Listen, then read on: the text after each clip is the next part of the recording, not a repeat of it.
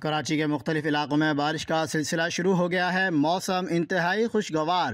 کئی سڑکیں تالاب بن گئیں۔ بارشوں کا سلسلہ کب تک جاری رہے گا؟ محکمہ موسمیات نے خوشخبری بھی سنا دی ہے۔ تازہ ترین خبروں اور تبصروں کے لیے ہمیں جوائن کیجیے۔ اگر آپ حالات حاضرہ سے مکمل آگاہی حاصل کرنا چاہتے ہیں، تو Haq Pakistan WhatsApp channel پر شامل ہونے کے لیے جوائن لکھ کر اس نمبر پر واٹس ایپ میسج کریں۔ Zero three one five double two double eight five six zero. Haq Pakistan news میں خوش آمدید۔ جی میں ایک بار پھر بارش شروع ہو گئی ہے۔ اس وقت Gulshan Iqbal university road, Safoora Chowrangi Shah Faisal town میں بارش ہو رہی ہے۔ آئی آئی چنڈی گڑھ روڈ، صدر اور اطراف کے علاقوں میں بھی بارش کا آغاز ہو گیا ہے۔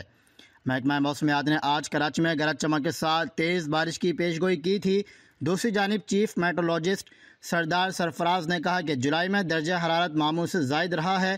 سولہ سے تیئیس جولائی کے دوران درجہ حرارت پانچ سے چھ ڈگری سینٹی گریڈ زائد رہا اور اور جولائی میں دو ہی مونسون اسپیل کراچی پر اثر انداز ہوئے۔ دو اسپیلز میں سرجانی ٹاؤن میں سو ملی میٹر کے قریب بارش ہوئی۔ پورے شہر قائد میں یکساں بارش نہ ہو سکی۔ چیف میٹرولوجسٹ سردار سرفراز نے مزید بتایا کہ کراچی میں دوپہر تک اچھی بارش کا امکان ہے اور رات گئے تک یہ سسٹم سندھ سے نکل کر جائے گا۔ تاہم، چار اگست سے مشرقی سندھ سے شدت کی مونسون ہوائیں داخل ہوں گی۔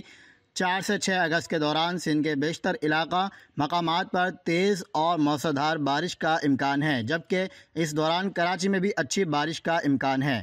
مزید اپڈیٹس کے لیے دیکھتے رہیے حق پاکستان نیوز۔